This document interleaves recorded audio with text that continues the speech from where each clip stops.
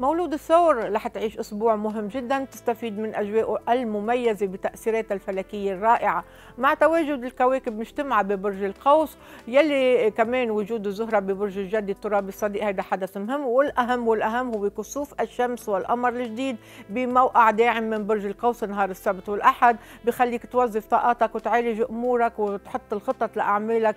تقدر تفوض من أجل عقد جديد وتغتنم الفرصة الملائمة بتتبع الحظوظ لصالحك. مصالحك وبيوعدك الحظ وبيمد لك إيد العون وبيخدم مصالحك 100% التنين والثلاثه مع وجود القمر ببرج الجدي يعني أجواء ترابية دسمة أجواء لطيفة ورائعة جدا بتخليك تتميز بسرعة البديهة والتصرف المنطقي والحكيم. رح يكافئك الحظ بدعم ونجاح أو أخبار سارة.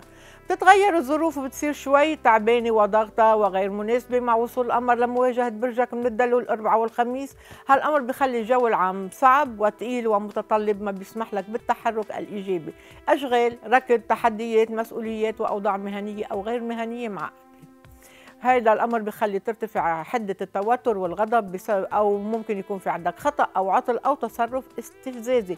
ممنوع عليك الإهمال أو التصرف بدون مسؤولية عزيزي الثور من جديد بتتحسن الظروف لصالحك وبتختفي الغيوم وبيختفي التشويش. مع انتهاء الأمر لبرج الحوت الصديق يلي بشكل مربع فلكي مع الشمس من القوس.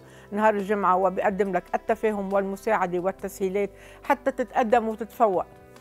نهار بيحمل بطياته ترويج مهم لعملك ونجاح مهني وشخصي. يعني باختصار أسبوع جيد جدا بيطلب منك اهتمام ورعاية. نظم وقتك وحاول أنك تختار الوقت الأفضل حتى تتحرك. عاطفيا ممتاز بعرف آه، انفراجات كثيرة تغيرات عاطفية رومانسية بتتحسن حياتك العاطفية مية بالمية.